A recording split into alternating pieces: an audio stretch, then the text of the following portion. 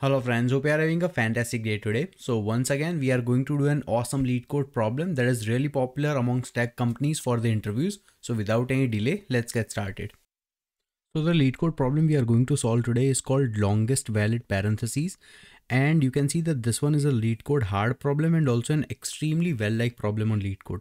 The problem statement is actually quite simple where we are told that we are given a string that contains just the characters opening uh, circular bracket and closing circular bracket and now we need to return the length of the longest valid parentheses substring. Suppose we are given a string uh, like this. Now we can see that all of these are actually valid substrings uh, because they are coming in correct order. So in this case, since all of them are correct, we can say that the longest substring that is valid is currently of six characters. Uh, same way, let's try to take one more example. Suppose the string we are currently given is something like this. Then we only have a valid, valid substring that is only valid for just two characters and these two are not part of the valid substring. So, okay. So we need to calculate that what is the consecutive longest valid substring and we need to return that. Now brute force approach logically we are going to do the most simplest things possible where we are simply going to check that uh, for every single substring from starting from any particular string we are going to check that what are the longest substring we are able to generate until we encounter some invalid substring. So overall this approach is a very simplistic approach that would work fine and generate the result. But the issue is this would operate in big O of n square time. So we need to find some way to shorten this calculation. And in a single go we need to identify that what are the current substring that we have been able to find. Is it valid or not? And if it is valid what is the current length? What is the maximum length we have been able to identify? And subsequently when will where, at what point does it stop becoming valid? So these are the questions we will have to answer uh, and then only we can find the optimal solution. So now let's start looking about that what an optimal solution should look like. Suppose this is the string given to us as an input and now we are trying to find the solution now let's try to make some understanding clear and that would help us build our solution. Number one thing is the moment we identify at any given moment that there is a closing circular bracket and we haven't found the opening circular bracket which means we can directly ignore this case because this is definitely invalid because it does not have any previous opening curly bracket that is number one observation. Number two observation is for any single opening curly bracket, we will need to keep this information stored somewhere that we have one open bracket for which we are trying to find a subsequent close bracket. So it can come over here or maybe here or maybe it cannot be possible, but we will uh, need to have that information. So these are the two pieces of information we will have to consider. Third thing is it could be possible that we may find some existing valid uh, sequence like this but this may not be the longest valid sequence because longest valid sequence in this case is probably going to be this one. So which means we will have to keep track of the current sequence and we will also have to keep track of the valid sequence and also the longest sequence considering all of these things, it would make really good sense to use stack data structure for this problem. And why are we using stack? Because if we have to consider this to be valid, then immediately before this, there has to be an open bracket. Then only we can say that this is a valid scenario. And then this bracket would not be considered, which means this still needs to live inside the stack because stack follows an awesome property of last in first out that is going to be greatly helpful to us. So now using stack, we would be able to solve many different problems. And the idea is that for each of this position, rather than just storing whether it's an open or curly bracket, we can actually store the index values. So let me write down the index values. And now the thing is, inside the stack, we will only push values when we encounter some open bracket because it could be possible that sometime in the future there might be a closing bracket. So, and whenever we identify a closing bracket, we will try to see in the stack that whether there exists any particular uh, bracket that we can pop out. If it does, then it would be part of the valid sequence. If it is not there, then we will see all sorts of scenarios. Okay. So I hope that all of these explanation makes sense. And now you are able to understand that how we are actually going to use the stack for our solution. So let's quickly generate the stack. Now we are going to keep track of a uh, few variables. So first one is that what is the current length we have been able to find. Next, what is the maximum length we have been able to achieve? Now, in order to keep track of the current length, we will have we will need to know that where does the current valid substring starts. So initially, because we are actually using this as zero, so initially our starter pointer needs to be somewhere over here before zero because we are starting the index from zero. Because imagine a scenario where we are only given an input like this which means this is 0 1 so based on the index location we know that this is actually a valid substring of size 2 but because we are starting the index from 0 so we will actually create our initial starting pointer from minus 1 so it would be very convenient for us to calculate these values okay? And you will understand the logic once we iterate over the the example. So initially our starting pointer is going to be located at minus one position and this is where our starting pointer is okay? So now let's quickly start iterating over the solution. So logically first here we identify that this is a closing bracket. For closing bracket we will have to pop one element out from the stack. But the thing is currently stack is empty. So because stack is empty this has to be an invalid entry. So we can ignore this case and move on to the next element. But when we move on to the next element we can say for sure that this is never going to be part of the uh, valid substring. So we will need to update our start pointer. So now we will have our start variable uh, being located at position number one. So let's just mark our start variable at position number one current length is 0 and maximum length is also 0 we haven't been able to find any values. Okay so let's just mark these. Now we encounter an opening bracket. So the moment we encounter the opening bracket we are going to be pushing the values inside the stack. So let's mark the index value same way once again we identify an opening bracket. So once again we are going to mark a, a, value inside the bracket. And when we are opening the brackets we don't need to update the current length or the maximum length because we haven't find any valid substring so far. Okay? Now we identified one closing bracket. So the moment we identify a closing bracket, we will have to pop element out of the stack. So let's try to pop one element out of the stack. If we pop this element out of the stack, by the way, this is this has to be number two. Okay.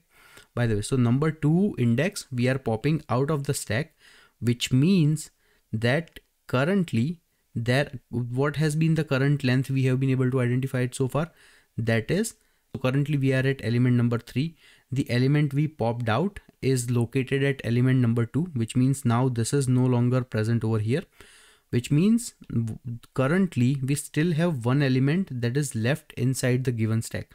So so far we can do the difference between this current element and the element that is already present inside the stack using the peek function.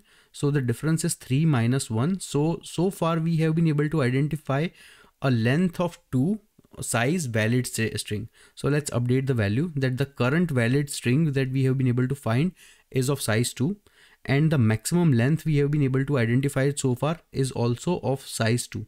Now notice that we are not using the start variable right here uh, because we, th this is still not taken care inside the existing valid substring. So that's why as long as there are some values present inside the stack, we cannot conclude that uh, stack is empty and we have taken care of every single substring. So that's why start pointer is still going to remain here. So now let's move on to the next element. Now we are at position number four. Once again, we identified the opening bracket. So let's try to add one more value inside our existing stack. So now the value is four. Okay. Now once again we identified a closing bracket. So the moment we identify a closing bracket, we will have to pop one element out. So let's quickly pop this element out. Now the element that is currently left inside the string is of size 1. So because this is of size 1 and the current element we are at is of size 5 which means the current substring that we have been able to find is 5 minus 1. So this is going to be uh, 4. So current length that we have been able to find the current maximum length is of size 4 and because this is of size 4 which means we will also have to update our maximum length as well and that is also going to be of size 4 okay now currently inside our stack we only have uh, one element that was that has been here for quite some time. And now let us also try to move to the next element. So once again we identified one more opening bracket. So we will try to put element number six inside the bracket. Now once again we identified the opening bracket. So we'll try to put element number seven inside the bracket. And now at element number eight we identified and by the way this current length would be uh, reset every single time we update the value okay so this is always going to be reset because we don't know that what the current length is. We only define the current length based on the value we pop out. So now this is a closing bracket which means we will have to pop one element out. So now we are located at value number 8 we popped uh, element number 7 out which means we still have one more open bracket located at element number 6 that we haven't taken care of. So now we will do the difference between 8 minus 6 and the value is 2. So current valid length that we have been able to identify is of size 2 but that is not greater than the maximum length we have been able to achieve. So we are still going to mark this as value number 4. So this is the logic on how you can actually use stack to solve the problem. Now let me just show you one more example very quickly uh, and then we will uh, move to the coding solution. Basically this is the optimal solution. So now let's just quickly start using the logic. So currently we identify an opening bracket. So we are going to mark value inside the stack. We once again identify a closing bracket. So once again we are going to pop this element out of the stack the moment we pop this element out of the stack and currently the stack is empty. If the stack is empty then we will have to we found a valid string from the starting value. So we are going to do the subtraction between the current value minus the starting value which means 1 minus minus 1 so the answer is going to be 2 so the current length that we have been able to identify is 2 and the maximum length we all we also identified is also 2 okay now once again so far remember this uh, s is the starting value still going to remain here but now we identified a closing bracket but for this closing bracket we don't have any value inside our stack. So because the stack is empty which means this is an invalid portion so now the starting value has to jump. So now we are going to jump our starting value to start at this element number 3 okay? Now this at this element number 3 we identify an open bracket so we are going to add a value number 3 over here. Once again for 4 we identified a closing bracket so we will pop an element out of this loop. So currently the stack is empty. If the stack is empty so now we are uh, located at this position number 4 and by the way our starting position should be at this position number 2 okay so now uh, currently we need to because stack is empty we will need to do the difference. So the difference between uh, current index and starting index is going to be 4 minus 2 so value is 2 so th this is the current length we have been able to identify and this is for this portion. So now uh, maximum length does not need to change. Once again we identify an open bracket. So we are going to add value number 5 over here and once again we identified a closing bracket. So now we will have to pop this element number 5 from the loop as well. So currently the string is empty. Because the string is empty we will have to do the current value minus x. So it's going to be 6 minus 2 so once again the current length we have been able to identify is 4 so the current length needs to be updated. This is going to be 4 and because this is greater than our maximum length so we are also going to update this one. And because we reach to the end of this given string so we can return the maximum length as 4 so this is the whole logic that we can use to solve this problem. And by the way, if we see time complexity in this case, the time complexity is going to be simply big O of n because we are simply iterating the given input array just once. If we see space complexity, because we are using an extra stack, we will, it will also going to be big O of n. So the coding solution is actually quite simple. First, we have a variable to store the maximum length. Then we initialize our stack and then we initialize the first value inside the stack as minus one. This is going to be our starting pointer okay? Then we have our for loop to iterate over the given string s uh, character by character we check that whether the given string if that is an opening bracket or a closing bracket. If it is an opening bracket we simply push that index position into the stack. If that is not the case then there can be couple of scenarios. So in either scenario first we will have to pop the element out of the stack now after popping element out of the stack, if the given stack is empty, then we need to push the current index as the base for the next valid substring. And uh, if that is not the case then we are going to calculate the maximum length. So for maximum length we are simply going to do the max to compare the current maximum length minus i minus the peek that is currently present inside the stack. And this is going to be give you give us the current length that we are dealing with and in the end we simply need to return whatever the max length we have been able to identify so let's try to run this code Okay, seems like our solution is working as expected. Let's submit this code. And our code runs extremely fast and this is a very good time and space complexity. So once again, I would be posting this solution in the in our GitHub repository so you can check it out from there. The link is in the description. Thank you.